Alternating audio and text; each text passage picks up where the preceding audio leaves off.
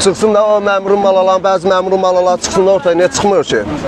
Bayraq qaldırmaqla deyildi, mənəm mənəm deyənlərlə deyildi. İndi torpaq altına yatan qardaşlarımdır. Hansı məmura baxırsan ki, ancaq Qalimaje, nə bilim villalarda yaşayır. Get kasıbın evinə bax, bir dənə daxmada yazsın. Kasıbə baxan yox.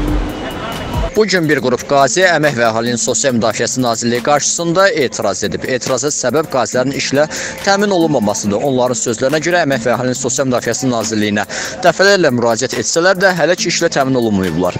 Şikayətçilər qurumun məsələyə etinasız yanaşmasından gileyləniblər. Pis baxırlar da bizə. Yəni belə Yəni elə bir erməni kimi baxırlar da. Çoxsa erməni kimi bizə baxırlar. Nə bəzi məmurlar var ki, şəhid ailələrini, de, qazilərin haqqını yeyirlər. Niyə yeməli də hani o bəzi məmurların övladlarında şəhid olan var, qazi olan var, yoxdur. Niyə görə? Ancaq kasımın balaları balaların balalarına aiddir torpaq. Bayraq kasımın balalarına aiddir.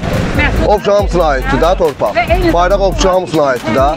Niyə onların evindən bir dənə şəhid olan yoxdur? Niyə onların evində bir dənə qazi olan yoxdur? Hər iki Dağlıq Qarabağ uğrunda gedən döyüşlərdə iştirak edən Nəsim Dadaşlı deyir ki, 44 günlük müharibə bitəndən sonra onları uzun müddətli süründürürlər. cəbhədə döyüşən uşaqlardan, döyüşçülərdən, müharibə iştirakçılarından olan Orxan adlı qardaşımızı e, neçə aylardır ki, süründürürlər də. Yəni vəzifə səlahiyyətlərindən sui-istifadə edirlər, vəzifə səlahiyyətlərini aşırlar.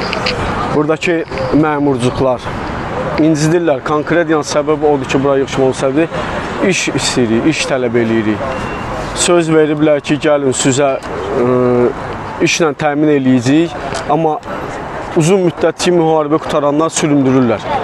Ona görə də etiraz eləyirik, gəlirik burada nazirin qəbuluna düşək, nazirə sözümüzü deyək, amma nazir qəbul eləmir. Ya səlahiyyətli şəxslərdən tələb eləyirik ki, bu süründürməçiliyə son qoyulsun.